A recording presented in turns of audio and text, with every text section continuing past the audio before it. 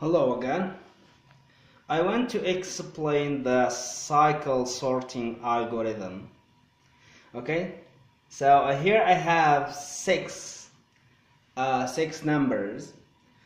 So uh, let's start it with the first position here. So here I have 10.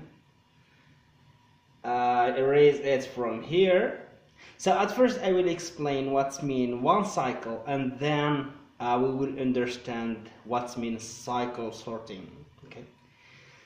So uh, we have 10 so we must calculate the number of numbers that less than 10 so 1 for example is less than 10 4 also is less than 10 and minus 1 5 and 0 so we have five numbers are less than 10 so I have five numbers less than 10 so 5 plus the index of the first position. So I start with 1 so that's 5 plus 1 that means that uh, 10 I must put it in the position 6 okay?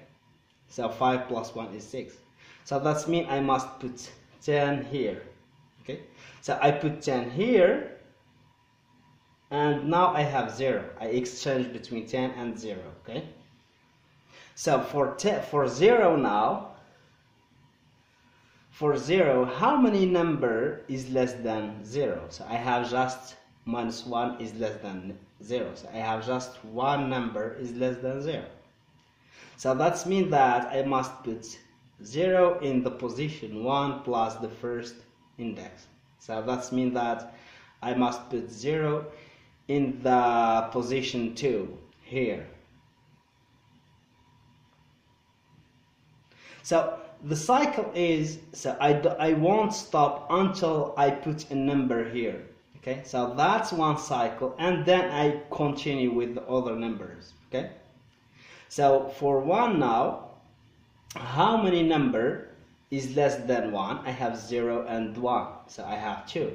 Two plus one is three so that means that I must put 1 in the third position. So I permute between 1 and 4. Uh, for this number here,